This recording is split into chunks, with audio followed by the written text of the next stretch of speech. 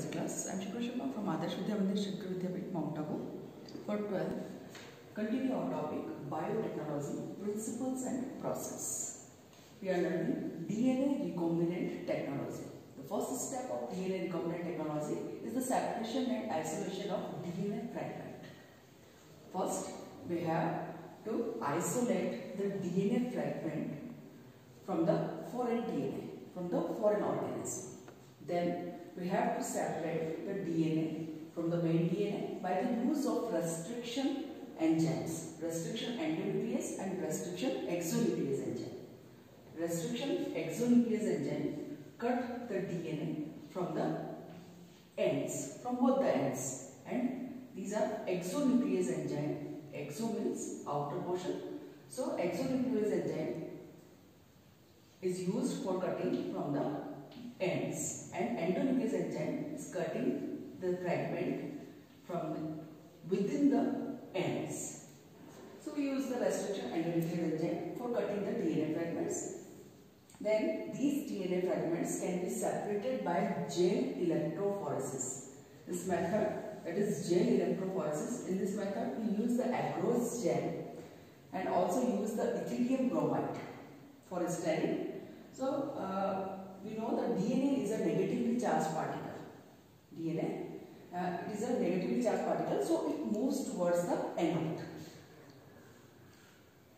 Under the electric field in this process the gel electrophoresis DNA is moves towards the anode and we separate the DNA fragments. They can be visualized after the staining by ethidium bromide. Ethidium bromide is used for the staining of DNA, DNA fragments. So, uh, they are separated uh, according to the small and larger size. And after the staining with the ethidium bromide, followed by the UV radiations. UV, UV radiations is applied on the DNA fragments and they provide the light orange color to the bands, the large and small bands.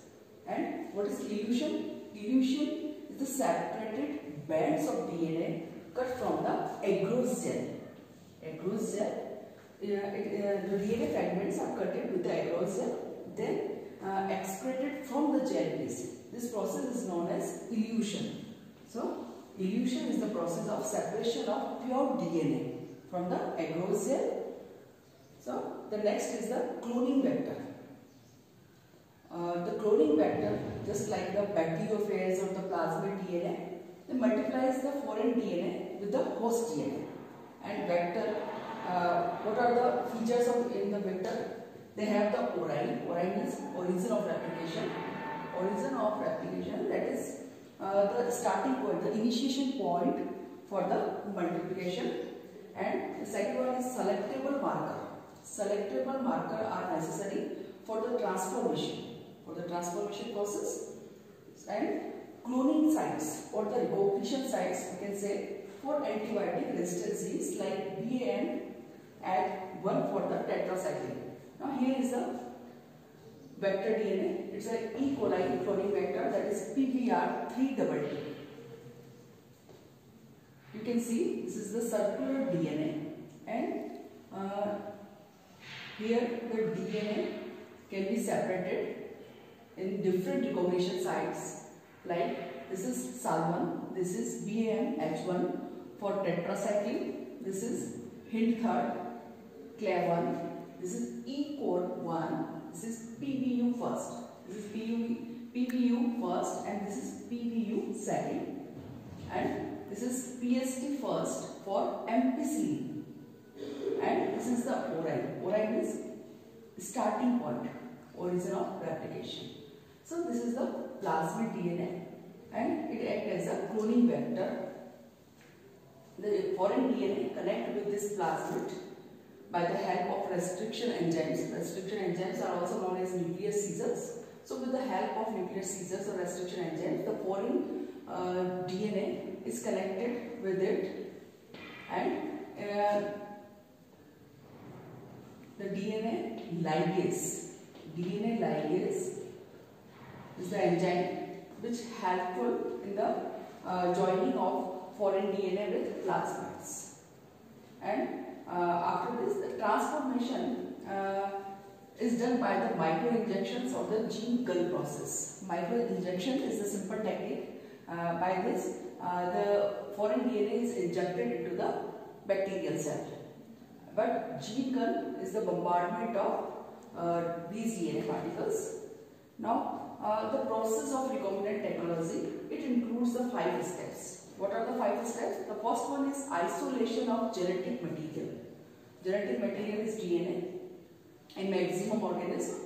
So, by the help of restriction endonuclease and exonuclease enzyme, we can cut the DNA fragments, then treating them uh, by the lysozymes in bacterial cell lysozyme enzyme and cellulase cellulase is the enzyme which is used in the plant for the plant DNA and chitinase is used for the fungus DNA fungal DNA that is.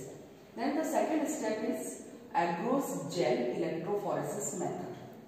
The agarose gel electrophoresis method it separates the DNA fragments smaller and larger fragments and with the help of ethylene bromide and agarose gel and the DNA uh, fragments they move towards the anode. So we have studied earlier. Then uh, the third step is amplification of gene by PCR. PCR means polymerase chain reaction. By this method, uh, the genes are multiplies. So it is known as the amplification. Then after amplification, the fourth is the insertion of recombinant DNA into the host cell. Then after amplification, we insert the recombinant DNA. Recombinant DNA is the foreign DNA. Uh, it inserted into the host cell with the help of microinjections or the gene gun. And the third step is to obtaining the foreign gene product by the use of cloning vector and uh, by use of bioreactors and downstream processing for separation and purification of uh, these extracted DNAs. So it is all about the recombinant DNA technology.